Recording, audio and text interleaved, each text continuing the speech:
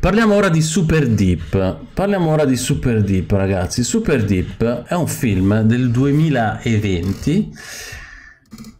Si chiama in realtà The Super Deep il titolo. No, il titolo originale è Kolskaya Svergumbolokaya. Voi direte, ma che cazzo di titolo è? No, vediamoci il trailer così capite.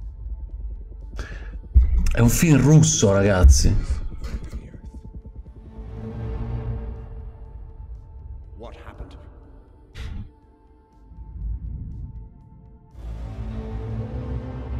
Where are the others? Everything is just like in a regular shaft. But later on, you'll see what we actually created here.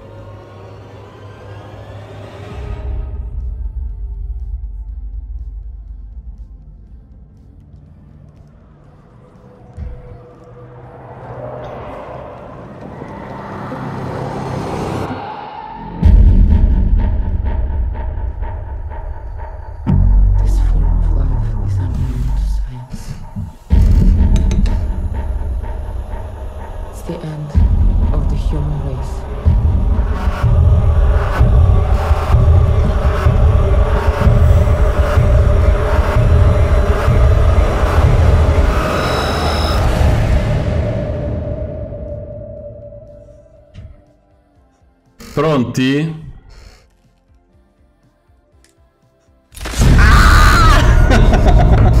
Mi fa impressione anche ancora adesso, nonostante abbia visto il film. allora, è un film russo di Ars- Arseny Syunin. Syuin. Vabbè, non l'avrò letto sicuramente nel modo giusto. E lui è un regista eh, russo, insomma, penso. Che in realtà ha fatto solo questo film, cioè questo è il suo primo film. Prima di questo film ha fatto 1, 2, 3, 4, 5, 6 cortometraggi. E poi basta, basta. Non, non ha una grandissima carriera, insomma, è un esordiente. Possiamo tranquillamente dire che è un esordiente. È dell'82, quindi non è neanche più un pischello. Il film è russo. Allora, è un film che è uscito con la Midnight Factory con una bella, una bella copertina, un po' una cover un po' diversa dal solito. Fantascientifico, come avete visto, c'è questo questa dottoressa esperta in pandemie eh, che viene chiamata per andare a investigare in una base militare sotterranea a 3000 metri 13.000 km non so quanto c'era scritto una roba pazzesca è proprio eh, eh, scus- scusate che c'è? Io sono scariche. Mm, scusatemi. Arrivo. Aspetta devo... sei capace di metterle non venire qua perché no non riesco a vedere un tutto. Non venire qua. Non venire qua. Salame, vattene dai. Vattene, vattene, vattene, vattene, vattene, vattene, vattene, I vattene. bambini non possono stare. eh. No, vai. Allora. Chiudi la porta, salame. Questo è il bello della diretta. Questo è il bello della diretta. Allora, perdonatemi se sono scaricate le pile del pad. Allora, la, dottore- la dottoressa eh, fini- eh, fi- finisce insomma a indagare su questo, su questo incidente che è capitato in questa base sotterranea. Eh, ci va insieme ai soliti militari, il generale, il eh, come si chiama la- altri dottori scienziati di tutte le, le- le categorie eccetera. Eh, spesso le persone che mi seguono e che mi stimano tra l'altro così pare così dicono ma poi secondo me eh, non è proprio così. Mi, mi pensano che io parli bene di Midnight Factory perché così mi mandano i film.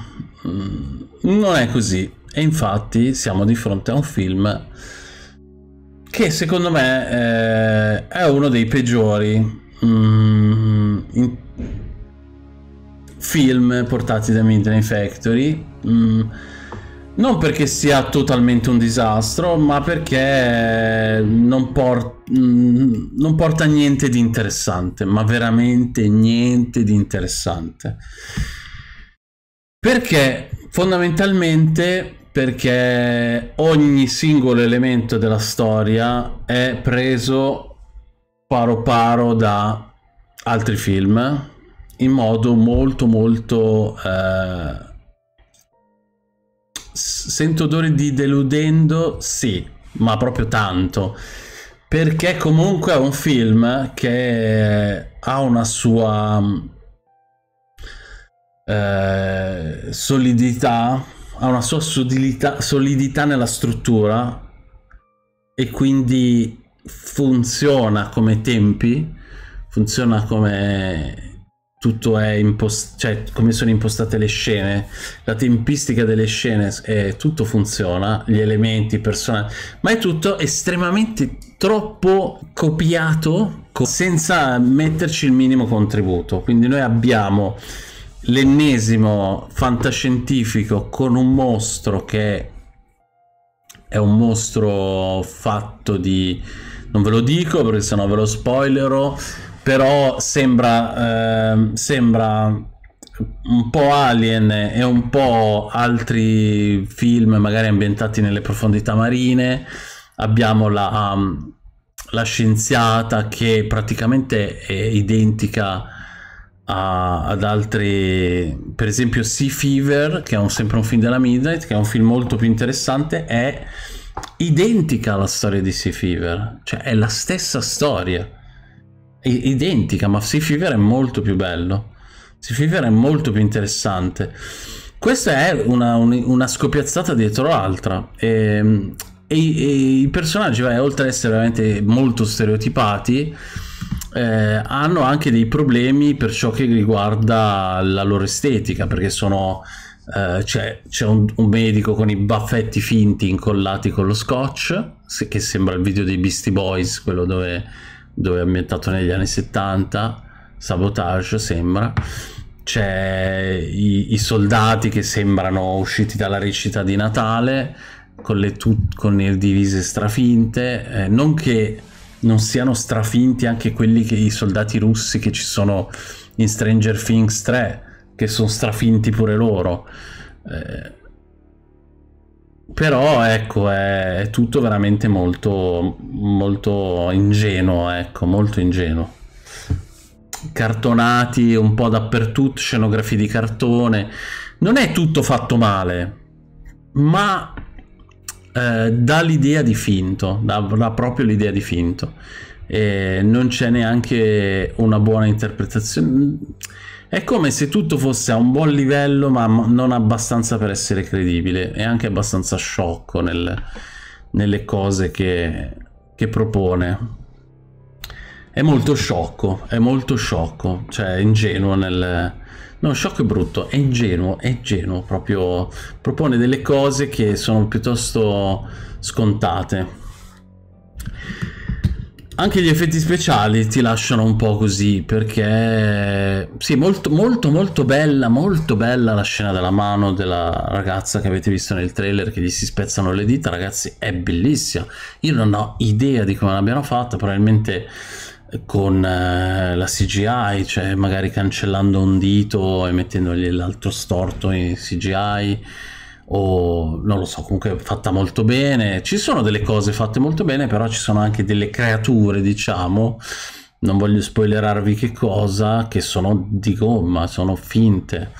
E secondo me con un po' di, di luci si poteva nascondere un po'. Eh, appunto Alien insegna, perché il primo Alien è un gioco di luci, cioè il buio c'è e si usa, va usato per, per lasciare anche all'immaginazione il lavoro più grosso, no? Poi dopo si vede anche, sono anche fatti strabene gli effetti di Alien. Qua no, quindi secondo me bisognava essere un po' più, più sgamati. Detto ciò, il film non porta assolutamente niente, né dal punto di vista del contenuto, Cioè, è il classico film della scienziata, del, della minaccia, diciamo. C'è una minaccia, c'è una scienziata, ci sono i militari scemi, ottusi, stupidi, spietati. È tutto un cliché continuo, ma eh, rispetto ad altri film dove comunque i cliché ci sono, ma poi per un motivo o per l'altro riescono a farsi valere qua non c'è niente di interessante. Per me è un film bypassabilissimo cioè proprio che si può evitare come proprio senza nessuna preoccupazione. Quindi assolutamente è un no per me. Se ho un criterio per cui i film eh, deludono deludono, che poi appunto dipende quali sono le aspettative, ma se le aspettative sono il divertimento, anche lì siamo un po' scarsi perché non c'è niente di estremamente eh, esaltante, ecco. Forse questo è dovuto anche al fatto, secondo me, che i personaggi non sono caratterizzati molto bene. Ehm, per cui per poterti emozionare di fronte a delle scene eh, di coraggio, non di coraggio, di tradimento, non di tradimento, sacrificio, eccetera. Se non c'è pathos, se non c'è quella connessione con i personaggi, poi tutto risulta abbastanza posticcio e inutile. Quindi manca proprio quello. Ci sono film dove tante cose sono fatte male, ma la connessione col personaggio c'è sin da subito. Quindi per me è assolutamente un film eh, abbastanza inutile come contenuto. Poi detto ciò, il regista è, è abbastanza bravo, cioè eh, non è che fa degli errori clamorosi. Eh, mi sembra comunque molto meglio di tantissime altre cose, però non basta. Ecco, quello che, che posso dire però è che io non sono contrario a un film come questo perché questo film è un film dove questo regista intanto è esordiente, ok? C'è chi esordisce con capolavori, c'è chi no, ma non vuol dire che chi esordisce con un film così non possa la prossima volta fare un film della Madonna. Finiamo con la parte polemica che non voglio risparmiarvi. Che mi fa incazzare? Ok, io non mi incazzo mai perché i film eh, per me hanno tutti il diritto di fare i film come cazzo vogliono, ok? Sapete che io sono democratico, sono il contrario di tutti gli altri. Però questo è un film russo, fatto in Russia con attori russi, scritto da russi, perché è scritto da Sergei, da Victor, da Milena, è interpretato da Milena, da Sergei, un altro Sergei, da Nikolai è interpretato. Cioè, ora state sentendo che nomi? Allora non esiste, che è ambientato Russia, nella Russia degli anni Ottanta, ambientato, con il, il, governo Gorbaciov, non esiste che io prendo il, il lettore e imposto la lingua originale con i sottotitoli in italiano e i russi parlano in inglese perché tu hai deciso di far recitare i tuoi attori in inglese per rendere più internazionale il tuo film. Scusami, caro Arseni, ma mi stai sul cazzo pesantemente per sta cosa. Cioè, proprio. Ma te lo dico con simpatia, cioè, perché veramente cioè, mi fa vomitare. È una scelta. È una scelta legittima che puoi fare, che decidi di fare perché. Uh, però fa, fa rabbrividire, fa rabbrividire mettere la lingua originale con i sottotitoli in italiano e sentire questi che parlano in inglese. I russi negli anni Ottanta, i soldati russi. Posso capire la scienziata che ha a che fare con altri scienziati di altri paesi e vabbè, parla in inglese, magari con un po' d'accento, mettiamocelo. No, questi parlano in inglese, non dico perfetto, però cioè ma poi perché cazzo devono parlare in inglese tra di loro? Ma di che cazzo stiamo parlando, dai, cioè... Allora lo ambienti da un'altra parte. Sono, sono veramente... Poche, poche volte sono, sono così intransigente sul cinema, perché io penso che le persone hanno diritto di fare il cazzo che vogliono Però stavolta mi metto di traverso, ragazzi. Non esiste. Cioè, io volevo sentirlo in rosso. Io volevo sentire sti cazzo di russi che cioè volevo sentirli con le loro cazzo di, di lingua. Eh che cazzo. Prego prego Tom ti ringrazio. Questo è l'ultimo punto spiacevole. Poi ecco se, se vogliamo spezzare una lancia. Ah grazie Tom. Grazie Tom se vogliamo spezzare una lancia a favore la spezzo per Milena Radulovic l'attrice protagonista che è veramente buona eh, detto ciò, dico solo questo, buona. No, è anche brava, ma, ma non, non, è un film che la... Buona serata Tom, grazie per essere stato qua con me. Eh, Tom è il mio moderatore, ora mi lascia, quindi rimango senza moderatore. Vediamo, sì.